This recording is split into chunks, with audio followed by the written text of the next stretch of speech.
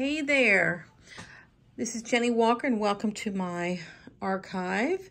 You are inside my office in the Moschino room and I wanted to showcase a piece today. I'm going to start doing more to showcase what's in here.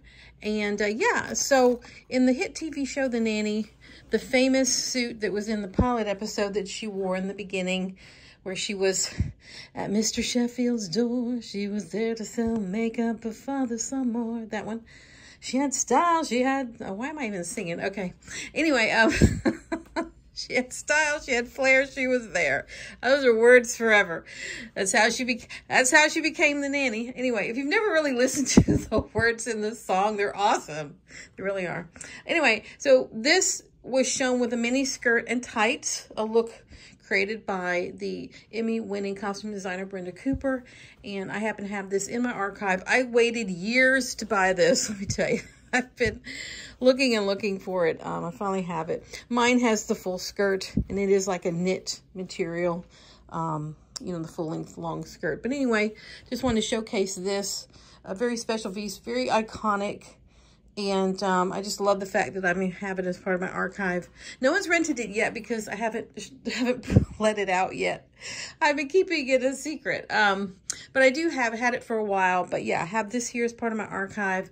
And it's an extension of the pieces of the Moschino that I have from, that also from the TV show The Nanny because uh, sometimes I'm asked to present those pieces. So this is another piece. Um, that was seen in the nanny. This was worn with a black turtleneck, which is so interesting because that was one of the signature um, moves that Brenda Cooper made with her costume design was adding turtlenecks, tights, mini skirts, things like that.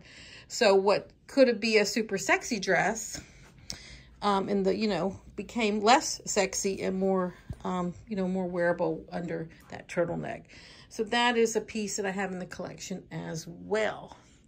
So if you go online and Google uh, What Fran Wore, which is one of the popular sites for the items from the show, you'll find this piece is one that they um, they show a lot. It's super cute too. It's very wearable. And of course, it's nice and short and sexy um, with these adorable ties on it. So that's a really, really excited to get that.